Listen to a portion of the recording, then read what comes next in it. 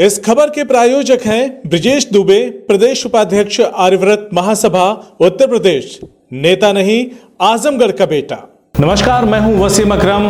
हाजिर हूँ मैं इस वक्त की सबसे बड़ी खबर के साथ सीआईबी इंडिया न्यूज़ पर।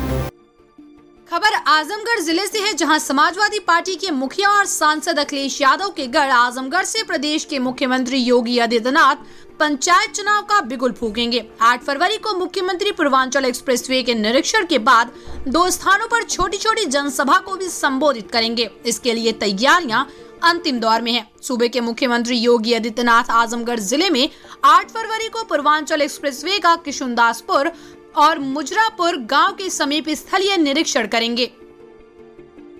निरीक्षण के बाद सीएम दोनों स्थानों पर पहली बार छोटी छोटी जनसभा को भी संबोधित करेंगे। इसके लिए सभी तैयारियाँ ज़ोर शोर से चल रही हैं। एक्सप्रेसवे पर ही टेंट, कुर्सियाँ आदि लगाने का काम चल रहा है। अधिकारी लगातार इसका निरीक्षण भी कर रहे हैं। सीएम पहली बार पूर्वांचल एक्सप्रेसवे के निरीक्षण के बाद जनसभा को संबोधित करेंगे। इसको पंचायत चुनाव से भी जोड़कर देखा जा रहा है। माना जा रहा है कि समाजवादी गढ़ से सीएम योगी पंचायत चुनाव का बिगुल फूकेंगे।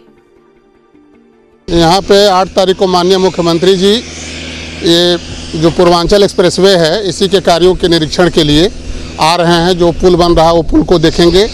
इसके बाद यहाँ जनता को संबोधित भी करेंगे और अधिकारियों की मीटिंग लेंगे।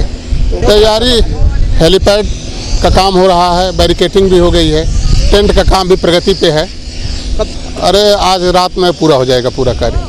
सीआईबी इंडिया न्यूज़ की सभी खबरों को देखने के लिए लाल रंग की बटन को दबाकर चैनल को सब्सक्राइब ज़रूर करें। घंटी ज़रूर दबाएँ ताकि हमारी सभी खबरों के नोटिफिकेशन आप तक पहुँचते रहें।